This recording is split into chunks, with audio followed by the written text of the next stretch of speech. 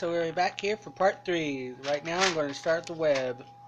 Actually, I put this in the middle because I just I didn't have any use for it, so I'm going to put it in the dream catcher. We're going to get a bunch of yarn and do a different weird pattern on here. Who knows how it's going to turn out.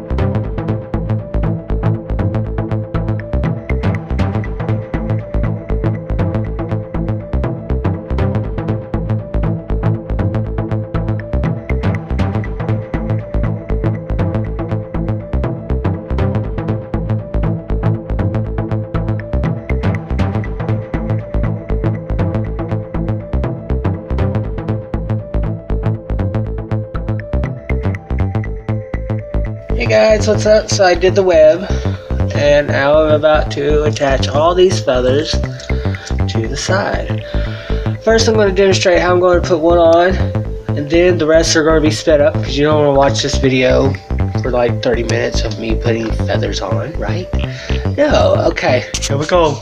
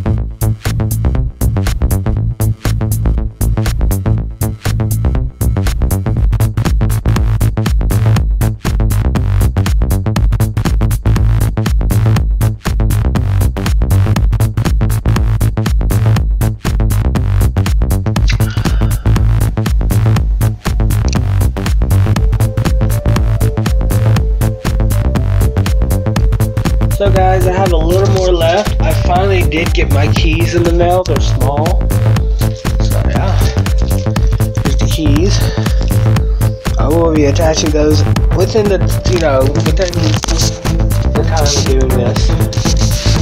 I did it. I'll be placing a lot of keys throughout here and I'll be putting a few more stuff. So I want to show you. But it's just feathers and beads. I put eyeballs. Sticky eyeballs on all the feathers here and there. And then I'm going to put the keys throughout here and then I'll be done. Thanks for watching. If you like this video, please like, share, comment, and don't forget to go check out the first part and second part. Thanks for watching. See you.